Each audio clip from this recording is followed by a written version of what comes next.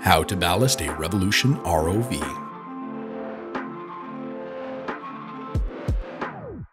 Your Revolution is composed of steel and aluminum modules connected to a high-density polyethylene frame with a large block of buoyant seafoam under the carbon fiber shell to counteract the force of gravity. Ideally, the unit should be neutrally buoyant, meaning it neither floats nor sinks. This will maximize your battery power and equalize vertical movement speeds. All Deep Trekker ROVs are tested and ballasted for fresh water at a lake close to our production facility. However, all bodies of water differ in density and the ROV will require adjustment between deployments. Ballasting is performed by adding or removing steel plates to adjust the density of the ROV until it matches the density of the water it is operating in.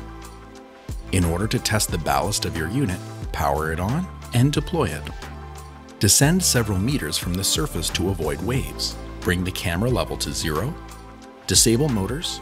Wait a few moments, and then observe the depth readout. If the depth increases, your unit is negatively buoyant and requires less weight. If the depth decreases, your unit is positively buoyant and requires more weight. Furthermore, ballast plates tune how level the unit sits in the water. Before enabling motors, observe the pitch and roll readouts. If they are off by more than 2 degrees, you may need to adjust your ballast plates.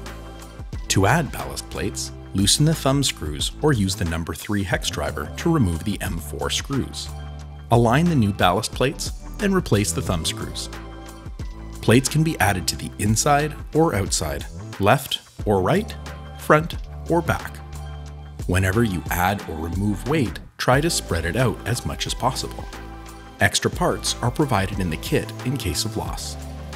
All Deep Trekker ROVs are ballasted for fresh water during production. If you are operating in salt water, you will need to add weight, typically 6 to 8 plates.